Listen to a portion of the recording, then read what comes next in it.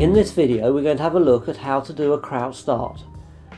Generally these are used by youngsters when they start in athletics, but can be used by athletes of all ages. Initially we need to work out which way round we're going to have our feet. Generally, the foot that we like to kick a ball with will be our back foot, and the other one, our stance foot, will be the front foot. Put the front foot just behind the line and measure back one and a half foot lengths. Once we have the front foot one and a half foot lengths back from the starting line, we then keep it where it is. We kneel down so that the other knee is side by side with the front foot with a small gap in between. Curl the back toe under on the back foot so that we get as many of our spikes into the track as possible. Place our hands just over shoulder width apart on the floor just behind the starting line, resting on our fingers. This creates a good starting position so that when we go into the set on the order of the starter, all we have to do is keep our arms upright and raise up until we get a right angle at the front knee.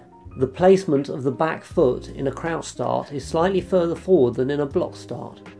This is because we need to make sure that we have the appropriate angles for the surface we're pushing against, with the block start clearly being on an incline.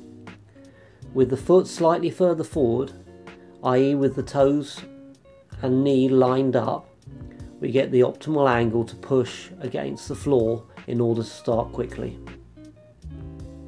Here we have a few demonstrations of athletes running from blocks.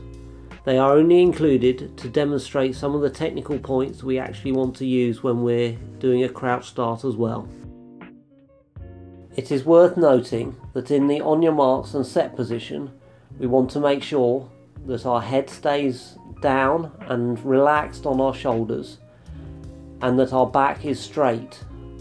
This allows for maximum force to be applied into the ground a big arch in our back or sticking our head up to see where we are going will create tensions and weakness that will not help us to start as fast as we possibly can. When the starter fires his gun, we drive the arms hard and push against the floor with our legs. The idea in the first few strides is to push hard whilst gradually bringing our body upright. On each step we are looking for our foot to land behind our hips so that we are always pushing against something to drive our body forwards. After about three to four strides, we should be in a full running action, even if we are still leaning forwards a bit. We will look at the mechanics of what we do in the first few steps in future videos.